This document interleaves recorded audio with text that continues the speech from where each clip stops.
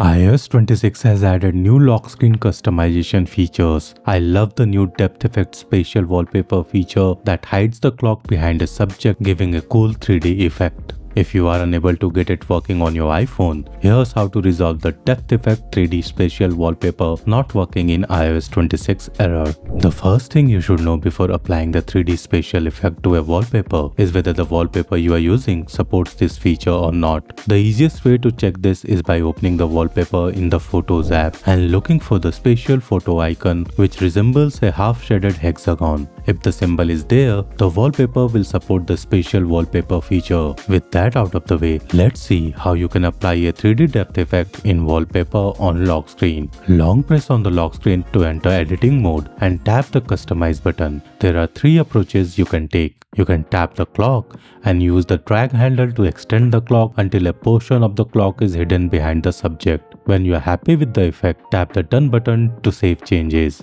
While this method works, note that this dynamic clock is supported only for the default font. If you choose any other font, the clock will revert to the default size. Another approach you can take is to pinch out with two fingers to zoom into the wallpaper until it hides a part of the clock. Since you are manipulating the subject instead of the clock size, this approach will work regardless of the clock font you are using. Finally, you can tap the spatial scene button to let your iPhone automatically apply the 3D wallpaper effect. You may have to use the pinch and zoom to adjust the subject to get the best possible results, but the effect should work automatically. The benefit of using spatial wallpaper button is that you get the cool parallax effect when you move your iPhone giving it a 3D appearance. I don't like the parallax effect much but you can mix and match these effects with different wallpapers to get some cool lock screen effects. And that about does it for this video. If you like this guide, click here to learn how to use AirPods as camera shutter for your iPhone. I will see you there.